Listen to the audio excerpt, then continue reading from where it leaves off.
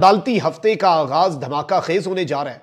Supreme court में full court इजलास भी बुला लिया गया। किस्सा पारीना बनने वाले काजी फाइज ईसा की रुसवाइयों का सिलसिला अभी भी जारी है। टर्किश एयरलाइन की फ़्लाइट में बैठे तो उनके फरार होने के मनाजिर। लोग उन्हें किस तरह के अल्फाज से मुखातिब कर रहे हैं? आज जो काजी फाइज ईसा के साथ लंदन में हो गया है, अब काजी फाइज ईसा जो है, उनकी रसवाई की दास्तान दो वीडियोज़ में बयान होती है। तारीख के कूड़ेदान में गए हैं और पाकिस्तान की तारीख में बदतरीन जुडिशल दौर अगर किसी शख्स का राय तो वो काजी फाइजीसा साहब का काजी फाइजीसा साहब जो है, दो बजे से वहाँ पे लोग मौजूद थे लंदन टाइम के मुताबिक। आठ बजे तक काजी फाइजीसा साहब निकल ही नहीं रहे थे। बच्चे अपने कहा, आप लोग जाओ, मैं अंदर ही बैठा हूँ, मैं इन लोगों को फेस नहीं कर सकता। वो दोनों को सिस्टम ने यूज़ करके टिश्यू पेपर की तरह फेंक दिया। नाजरीन, काजी फाइज ईसा जू ही अपने अहदे से रिटायर हुआ तो ये 24 घंटे भी पाकिस्तान में नहीं गुजार सका, क्योंकि इसको अपने काले करतूतों का पता था कि ये पाकिस्तानी अवाम अब मेरे साथ क्या करेगी? क्योंकि इस बात का इसको अंदाज़ा हो चुका था जब ये अपने अहदे पर फायज था उस वक्त ये बेकरी वाले ने इसके ऊपर लानतें भेजी थी क्योंकि इसके दौर में अवाम के हकूक़ की पामाली हुई, औरतों के ऊपर जुल्म हुआ, औरतों को सड़कों के ऊपर घसीटा गया, मगर इसने किसी किस्म का कोई एक्शन नहीं लिया। अब इसको अच्छी तरह मालूम था कि रिटायरमेंट के बाद अगर मैं पाकिस्तान में रुकता हूँ तो ये अवाम मेरे साथ क्या करेगी? इसलिए इसने अपने अहदे से उतरते ही लंदन की टिकटें बुक करवा ली। लेकिन इसको ये मालूम नहीं था कि जिस मुल्क में ये भाग कर जा रहा है, वहाँ की अवाम भी इसको जीने नहीं देगी। वहाँ की अवाम इसके ऊपर जो लानते भेजेगी, जो इसके साथ सलूक करेगी, ये इसकी सोच से भी बाहर आए पहले ये वीडियो देखते हैं फिर इस पर हम तफसील से बात करते हैं।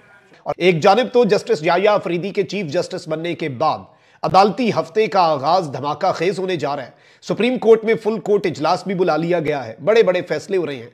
लेकिन किस्सा पारीना बनने वाले काजी फाइज ईसा की रसवाइयों का सिलसिला अभी भी जारी है। काजी फाइज ईसा के साथ पहले जब वो चीफ जस्टिस थे, नॉर्मली ये होता है कि लोग जब अपने उहदे से हट जाते हैं, फिर लोग उन्हें कन्फ्रंट करते हैं, लेकिन काजी फाइज ईसा जब चीफ जस्टिस थे, उनके साथ क्रिस्टीज डोनट्स पे एक वाक्य पेश आया। चीफ जस्टिस के उहदे से हटने के बाद ऑल उनका दिल नहीं था, इस उहदे से चिमटे रहे। काजी फाइज ईसा साहब जो है, वो अगले ही दिन, एक दिन भी नहीं गुजारा, बल्कि सेम डे आप कह ले कि वो मुल्क से चलते बने। टर्किश एयरलाइन की फ़्लाइट में बैठे तो उनके फरार होने के मनाजिर, लोग उन्हें किस तरह के अल्फाज से वो खातिब कर रहे हैं, वो सारी चीज़ें हमने देखी।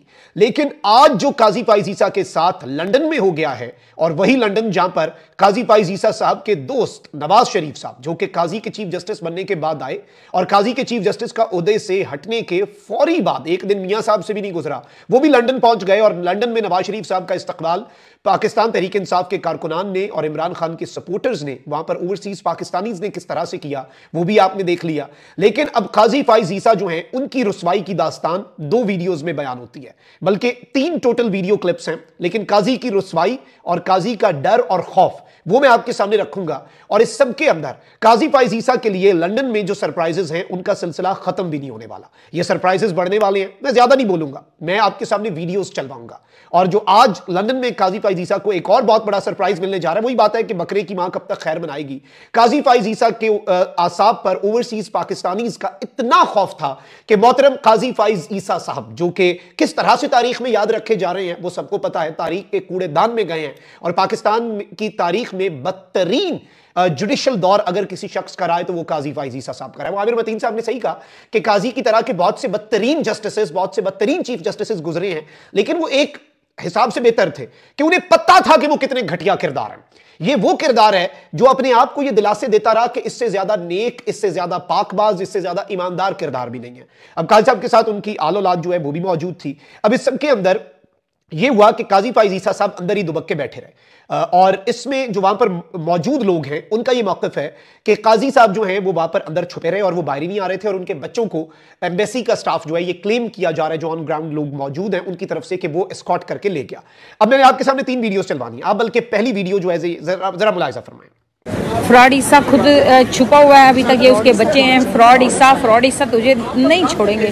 तुझ पे लानते भेजने के लिए हम यहाँ पहुँचे हैं डोनट्स के साथ पहुँचे। ये देखे, फ्रॉड ईसा ने अपना लड़का भेजा यहाँ पे। ठीक है, अभी खुद अंदर छुप के बैठा हुआ फ्रॉडी, फ्रॉड कर रहा है। ये देखे, इसका बच्चा बेशरम लोग, गंदे मुल्क का इंसाफ बेचने वाले, ये गंदे लोग हैं।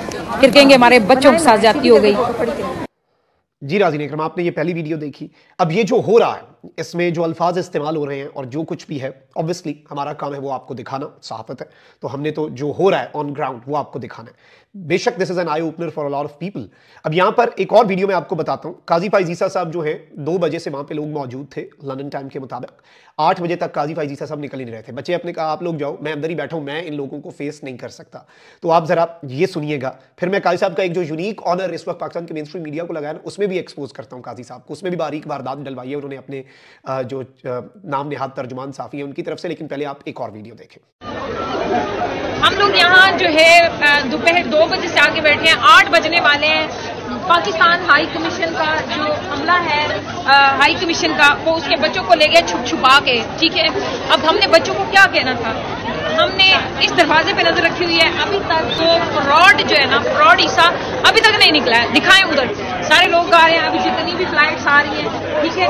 लेकिन अभी तक हम इंतज़ार में हैं कि मजीद हम इधर दो तीन घंटे बैठेंगे देखते हैं वो निकलता है कि नहीं निकलता।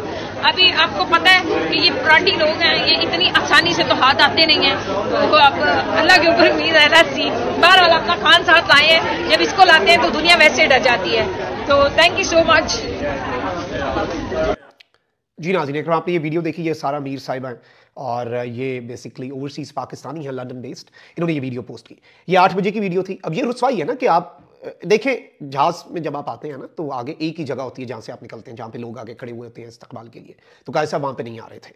तो फिर ग्यारह बजने वाले थे जब तो आठ बजे की वीडियो देख ली। ग्यारह बजने वाले थे जब तो फिर इन्होंने कहा कि हम एयरपोर्ट छोड़ रहे हैं, क्योंकि इनके मुताबिक, इनका ये मौकफ है, जो ऑन ग्राउंड लोग मौजूद हैं, कि काजी फैजीसा साहब को कोई कॉन्टैक्ट्स लड़ा के पीछे किसी चोर दरवाजे से निकलवा लिया गया। लेकिन फिर इन्होंने साथ ये कहा कि, जी, आपसे वादा है हमारा कि लंदन में हम अब काजी फैजीसा को पकड़ेंगे ज़रूर। और फिर ऑब्वियसली अपने ख्याल का इजहार करेंगे। एक और वीडियो आप देखें। अच्छा अभी हम तो यहाँ खड़े हैं ठीक है? और काजी जो है ना उसको पतली गली से निकाल दिया फ्राडिए को फ्राड की गली से निकाल दिया है। हम सब आए हैं बहुत सारे लोग साइडों पर बैठे हुए हैं जो सामने नहीं आ रहे फैमिलीज़ हैं। तो शाहरुख भाई आपका डोनेट अभी क्या करेंगे और आप क्या करेंगे बता दीजिए लोगों को। एक्चुअली हम पाकिस्तानी पाकिस्तानी पाकिस्तानी को मैसेज देना चाहते हैं कि खुदा के लिए अपने हक के लिए निकले हैं? इन लोगों को तो आपने पाकिस्तान में छोड़ दिया लेकिन हम नाम तो यहाँ से भेजेंगे। वेलकम नानक के साथ काजी को और पाकिस्तान की कौन इमरान खान के लिए बाहर निकले पाकिस्तान तरीके इंसाफ तरीके पाकिस्तान के लिए। निकले इन हमारी जदोजहद जारी रहेगी। गेटवे एयरपोर्ट एयरपोर्ट पे हम खड़े हैं एहतजाज कर रहे हैं। अब वो साइडर की गली से निकल गए हैं कोई इशू नहीं है। कितनी गलियाँ चेंज करेंगे? पाकिस्तानी जाग रहे हैं। अब यहाँ पर मैं आपको ये बता दूँ कि एक तो काजी साहब के वाले से जियो न्यूज़ और बाकी चैनल्स पे लगाया जा रहा है कि जी पता नहीं कोई वो उन्हें बेंच में डाल दिया गया है लंदन में बड़ा कोई एजाज़ मिल गया है आ, काजी फाइजीसा साहब को। और काजी फाइजीसा साहब जो हैं, वो पहले पाकिस्तानी अलबत्त उसमें अब साफ़ियों ने बताया साफ़ियों ने भी और बाकी जो वकला हैं, उन्होंने भी कि जस्टिस आयशा मलिक को पहले ये एजाज़ मिल चुका है। तो Qazi is not the first person number one secondly Qazi Faez Isa साहब जो हैं, उनके वाले से ये बताया जा रहा है कि जी बेंच कॉल है उनकी और इसमें Kazi Faizisa professor Adrian Briggs Isabel Hitching Andrew Mitchell और निकी सिंगला जो है, वो हैं।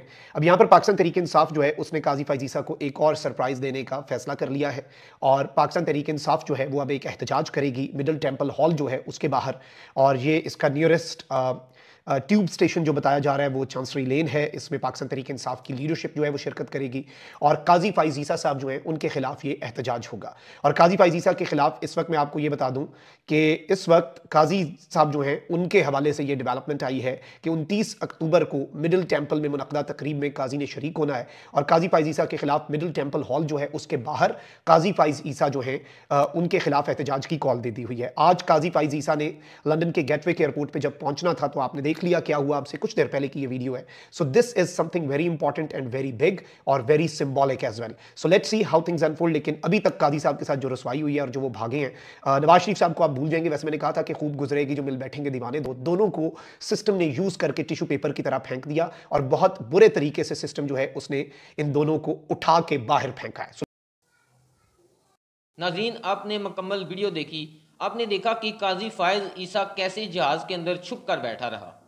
इसने इतनी हिम्मत नहीं थी कि ये बाहर निकलता, अवाम का सामना करता। सामना कैसे करता? ये तो था ही चोर, डकेत था एक किस्म का। इसने इस मुल्क के आइन और कानून के साथ खिलवाड़ किया था। यही वजह है कि ये अवाम का सामना नहीं कर सका और जहाज़ के अंदर छुप कर बैठा रहा। लेकिन कब तक ये छुपेगा? कब तक बकरे की माँ खैर मनाएगी? आप काजी फाइज के बारे में क्या कहना चाहते हैं? आप अपनी राय से हमें ज़रूर आगाह करें। नेक्स्ट वीडियो तक मुझे दें इजाज़त। अल्लाह हाफिज़।